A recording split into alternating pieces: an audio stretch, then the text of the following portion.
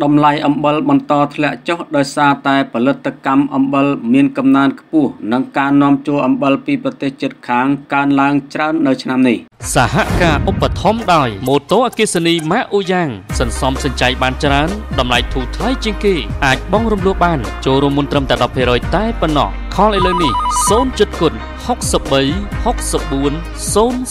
00សមាគមផលិតអំបិលកម្ពុជាបានឲ្យដឹងថាតម្លៃអំបិលបន្តធ្លាក់ចុះដោយសារកំណើនផលិតកម្មនិងការនាំចូលពីប្រទេសជិតខាង លោកប៊ុននរិនប្រធានសមាគមផលិតអំបិលកម្ពុជា បានប្រាប់សារព័ត៌មាននៅថ្ងៃទី21ខែសីហាឆ្នាំ2024នេះថាតម្លៃអំបិលបានធ្លាក់ចុះចាប់តាំងពីខែឧសភានៅ9000រៀលក្នុងមួយបាវ50គីឡូក្រាម ដោយទាបជាងឆ្នាំមុនអាចលក់បាន20000រៀលក្នុងមួយបាវ50គីឡូក្រាម លោកប៊ុននរិនបញ្ជាក់ថាអំបិលបានថ្លៃទាបដោយសារតែឆ្នាំនេះផលិតកម្មអំបិលមានកំណើនខ្ពស់និងការនាំចូលអំបិលពីប្រទេសជិតខាងដែលធ្វើឲ្យការបញ្ចេញអំបិលទៅក្នុងទីផ្សារបានប្រមាណតែ40%ទិន្នផលអំបិលនៅក្នុងឆ្នាំ2024សម្រាប់បានជាង130,000តោនមានការកើនឡើងជាងឆ្នាំ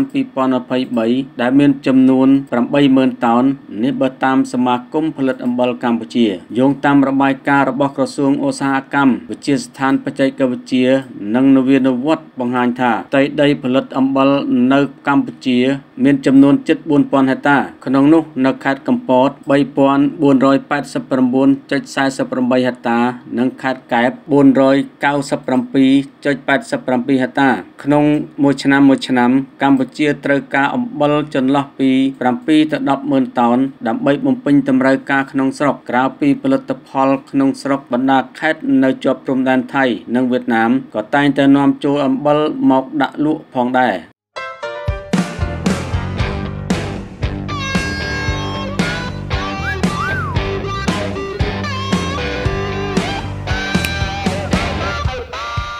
ម៉ូតូអគ្គិសនីម៉ាអ៊ូយ៉ាងសន្សំសំចៃថវិកាសម្រាប់គ្រួសារលោកអ្នក